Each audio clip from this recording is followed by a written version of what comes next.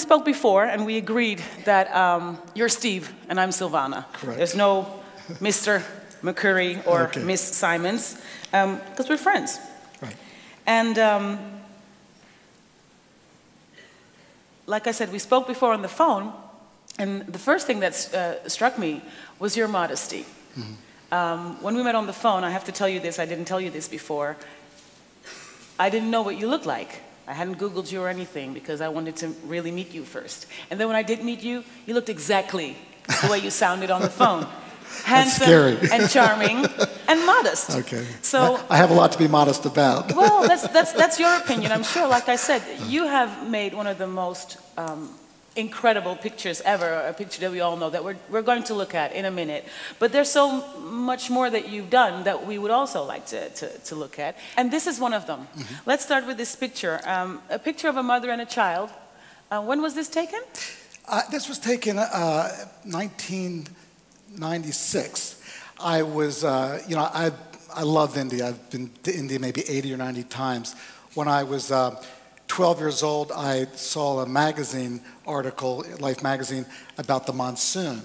And it really captured my imagination. And I thought, you know, someday I want to go to India and experience that monsoon. Well, you know, fast forward 20 years, I, I found myself at National Geographic and I said, you know, I'd like to go back and recreate that story that I saw in Life magazine. They gave me this assignment. One morning, I was in a taxi, heavy rain, and this mother and child came to my window. I was sitting in the back seat, very relaxed, and she came up and, and they were looking into my window, and I guess they may have been looking for some money or whatever.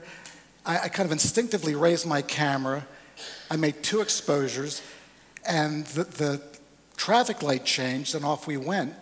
And two months later, I was looking through my film, and I saw this picture, and I thought, oh my God, that's, that's uh, I love that picture. This is really amazing. And it occurred to me, you know, I'm sitting in this sort of air conditioned bubble, and this mother and child out in the heavy rain, it's, it's hot, there's traffic, there's pollution, and they're kind of looking in the window trying to see if who's there, maybe there's some opportunity for us. And it really felt like this sort of collision of two cultures, of two worlds.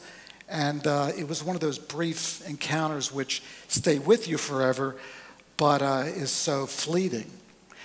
When you say, um, um, I grabbed my camera and I clicked, and then two months later, I saw the pictures. Now, to a lot of us, that's like, why wait two months if you can instantly just, you know, check? But obviously, at the time, you were still working with film. Do you still do that? No, I've completely switched over to digital. You know, digital is so wonderful because we can uh, see the pictures right away. And uh, if we need to adjust or modify or whatever, we can do it right there, right then. And um, you can also show the picture to your subject, Yeah. and uh, that's a great uh, benefit. We know that um, um, portraits is one of your um, specialties. Yet the first two pictures we're seeing, this one as well, um, it looks like you were accidentally standing on some road and a woman walked by. Is that the case? Or did you, did you still orchestrate the image? Well, I was in this uh, ancient city in India called Brindavan, and Brindavan is, I would say, kind of infamous because they call it the city of widows.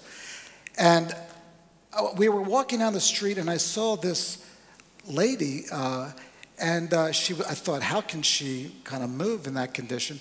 So I was very intrigued and fascinated. I started following her, taking her picture, and after five or ten minutes, she sort of, I guess she looked over and said, Well, who was this guy following me? So we started a conversation, and uh, it, it turned out that she had been married when she was uh, 14 years old. And shortly after that, she, had become, she had become a widow. And there's sort of a stigma, kind of a bit of bad karma, which is associated with the woman becoming a widow. So her family sent her off to this village to basically live the rest of her life, uh, to live in an ashram.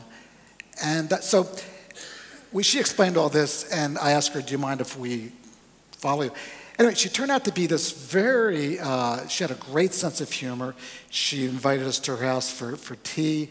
Uh, and despite the fact that she had this sort of infirmity and this extremely sort of uh, unfortunate life. I found her uh, uplifting, inspiring, and I thought somebody who has that kind of resilience is a much better person than me. To be able to still have a smile on your face and to have that, you know, resilience, I thought it's just uh, amazing. I've never forgotten her. It, it, it's funny to me, what's funny to me in this picture is that one would think that seeing this lady walk down the street, to capture her in a picture would get you a picture that says, I pity you, or um, I even, uh, it, might be even, it might even be condescending in, in, in some way. Yet when you describe the woman, which you only got to know after you took the picture, I have to think that maybe you saw all of that still as she was, she was walking by. Do you, do you give yourself an assignment for every picture you take? Or is it just, I see a beautiful composition just happening and mm-hmm. click, there I go? Well, the serendipitous moment, the chance encounter, is what I sort of live for and what is, the, to me, the most rewarding part of my photography. Uh, but this woman, there was no self pity whatsoever there was this sort of joy and the, the, the pleasure of being alive, despite the fact that she was in this sort of seemingly terrible situation. Now, you spoke earlier before that, you said earlier that um, now that you, you use digital cameras, um, you can adjust a picture. Um, there's always a lot of debate amongst photographers, and we're all photographers these days, aren't we?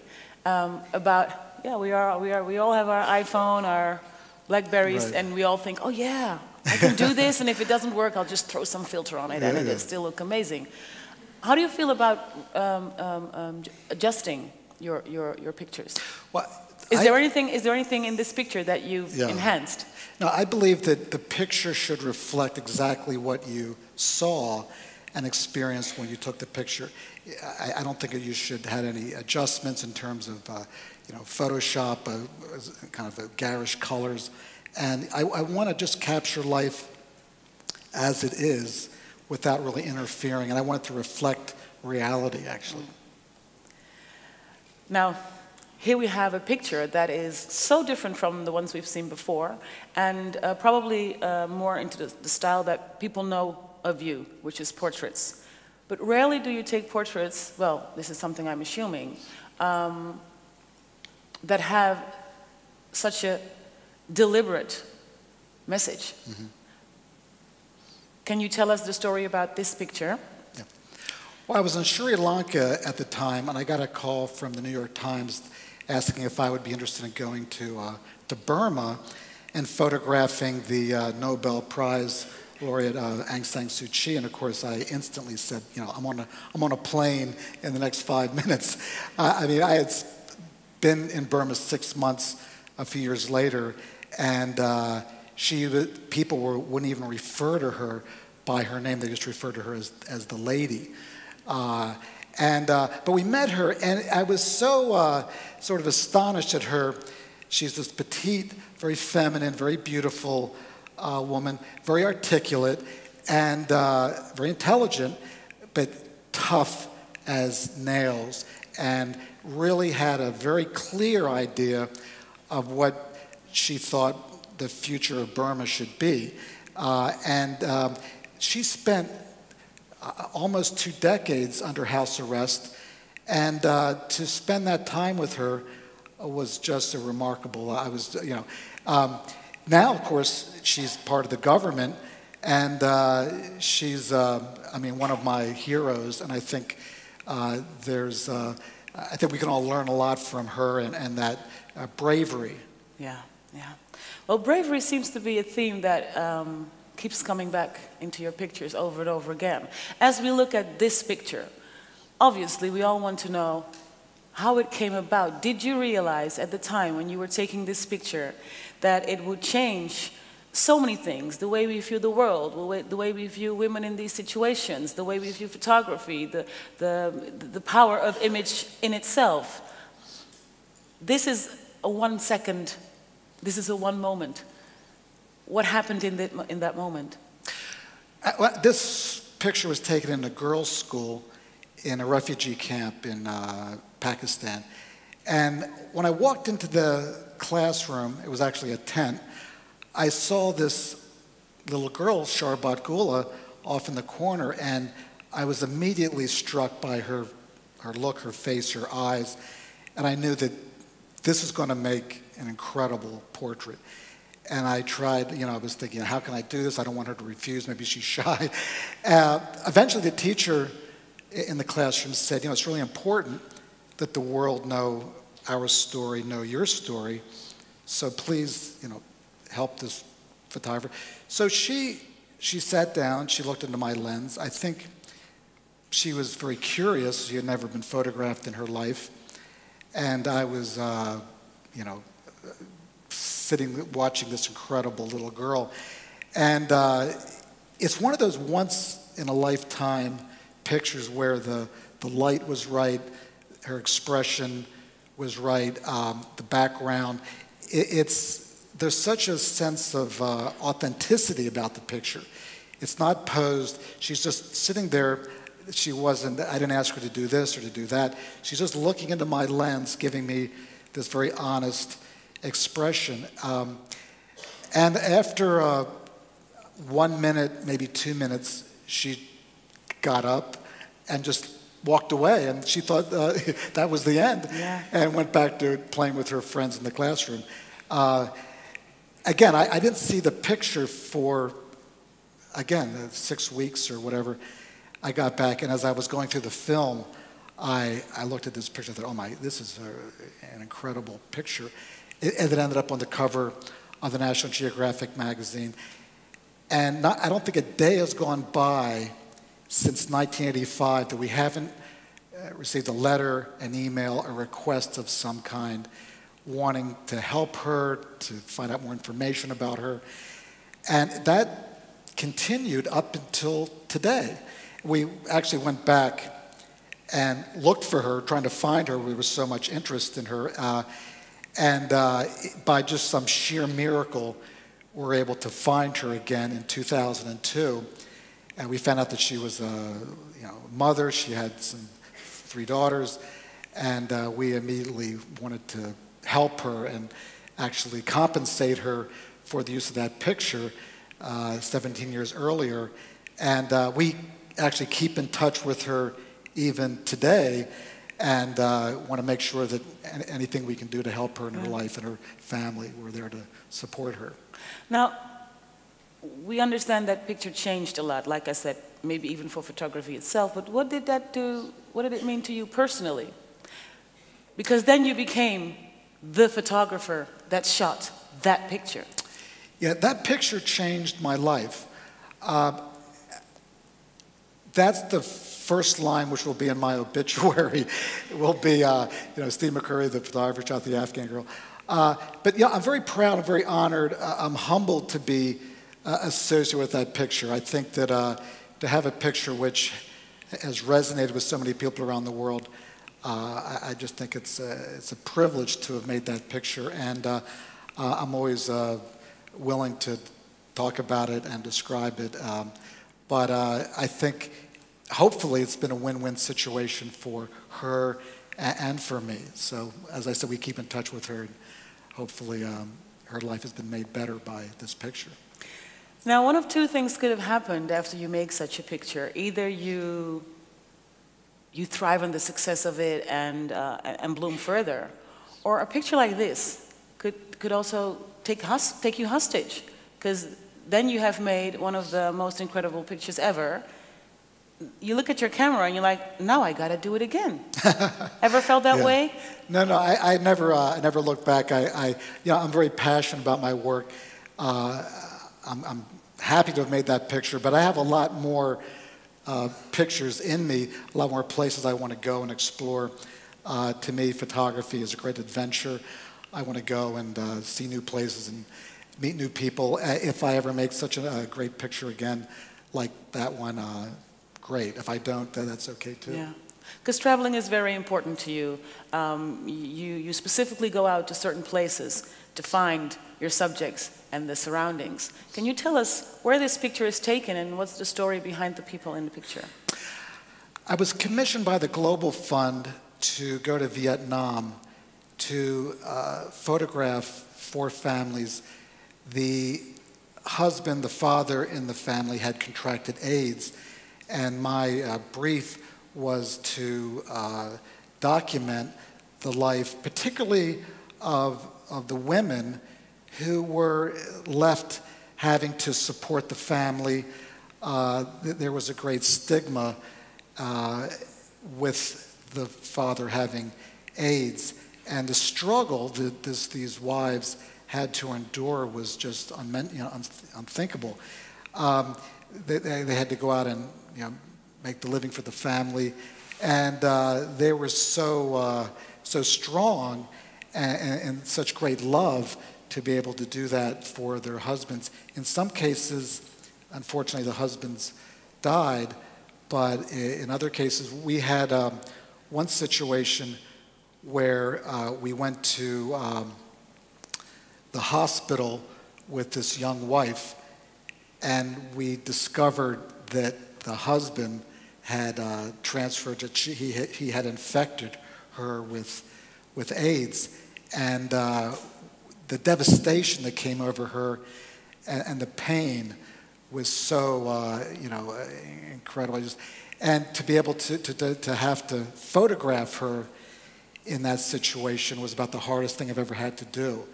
But I, uh, I, I, just forced myself. I knew that it was important, that this was a critical part of the story to show people that, that the pain and agony that people have to go through that have to deal with this terrible uh, disease.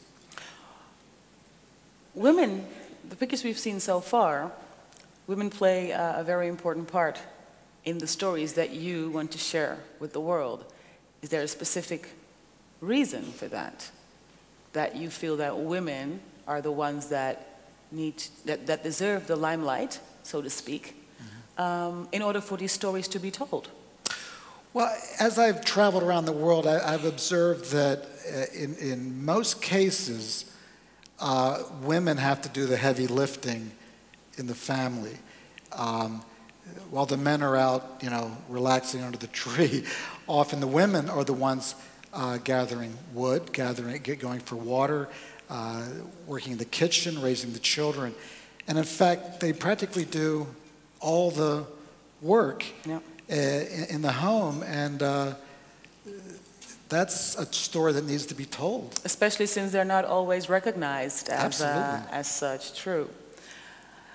So we see all these very supportive, supportive women. Um, grieving women, I, I, I, assume these are women at a grave? Yes.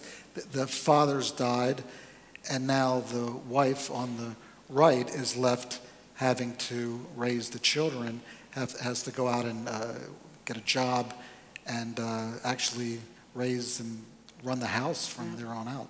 Yeah. This is that young mother who is in the back seat as we were driving back to her, her home, and she realizes she's 21 years old. She's her husband is dying, and she has this young child, and uh, she's probably thinking, you know, my life is over. How can I endure? How can I go on? And I, I as I turned her, I thought, you know, you, you can't photograph, you can't sort of invade somebody's privacy. And how do you, how do you uh, judge that decision in that moment, whether it's the mother and child in the monsoon, whether it's uh, the wife who just found out that she is also infected, this young mother, you're, you're very close. Mm -hmm. um, it's really a moment to moment decision. Uh, she and her husband had given us permission to kind of live with them, to photograph them. And again, as I turned to take this picture, I thought, this is so terrible. But I knew that it was an important part of the story. If she had sort of waved me off and said, I would have stopped in a second. But I just thought, this is something, this is a story. Her story needs to be told. And so I, I took maybe three exposures and then I, I stopped. Now, this picture, this picture, we can hear it as it comes on the screen. This picture tells a compelling story. Mm-hmm.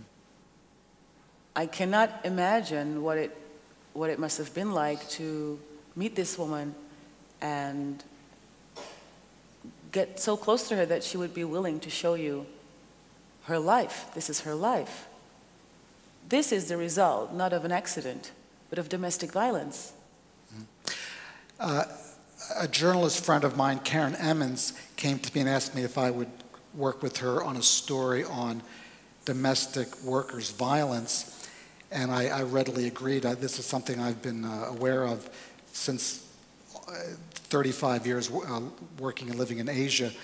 Um, what happens is these uh, young women uh, who want a better life uh, go to places, uh, you know, the Gulf, go to different Hong Kong, or whatever, wanting to make some money, perhaps take the money back and start a business or whatever, and the, they're taken to these countries and sometimes they're not paid. Uh, physical violence, sometimes they're raped, they're not paid, and they have no uh, recourse. Uh, their passports taken away, uh, they don't know where to turn, uh, they're trapped, and it, the, uh, so they, they, they, this happens repeatedly all over the world. And we thought we should really try and, again, tell their story so that some, some something can happen, some organization or some uh, laws are passed to help these women uh, not have to suffer and endure this, this sort of cruelty. Now, I was in charge of time, uh, and I'm, I'm, I'm running late. So, so, um, so we're going on to our final uh, uh, shots, which, which are also very important to talk about. I don't want to miss them. Well, this is uh, Petra Nemcova. She's a supermodel from the Czech Republic. Um, I, have been given an assignment uh, to do the Pirelli calendar, which is traditionally a nude calendar. I don't photograph news. I thought, how can I do this project in my own way? And I, I spoke with the Pirelli people, and we said, why don't we find supermodels who are doing charitable work, humanitarian work, trying to make the world a better place. And there was no better example of that than Petra Nemcova. She has worked and helped to rebuild so many schools uh, around the world in Haiti, in Indonesia, in Peru, and Mexico. Uh, areas where floods uh, have uh, occurred or earthquakes. So, so what was a, her personal incentive? Well, she uh, had been vacationing with her uh, boyfriend in, in, in, in Thailand. Uh, the tsunami uh, came into the, swept away uh, uh, she and her boyfriend. Unfortunately, her, her, her boyfriend was, was killed. She, she, had multiple fractures all over her body. As she clung on for dear life, she was saved. While she was clinging to that tree for eight hours, she could hear the voices of children and, other people crying for help. Uh, she, she survived, she was rescued, and she started. She was, she thought, this is, uh, you know, this experience obviously has changed my life. I have to do something to help other people. She started this uh, incredible organization called Happy Hearts, which helps to build schools for uh, earthquake victims, uh, flood victims. And uh, she has devoted so much of her life now, I think more to that than to modeling. Uh, and uh, she's so vivacious and has such a great disposition. You, you just have, when she calls and says, I need you to volunteer for me, you have to go. I, I, have done a lot of charity work for her with great pleasure, and anything I can ever do for Happy Hearts is, a great uh, honor. It was an honor to have you here at TEDx Amsterdam Women today. It was my honor to be able to speak to you on, uh, on the stage today. And I would like to thank you for being here today, but I would definitely like to thank you for your talent, sharing it with us and sharing these amazing stories about these amazing women. Thank you very thank much. Thank you so thank much, you. Dave. Thank you. You did good. thank you.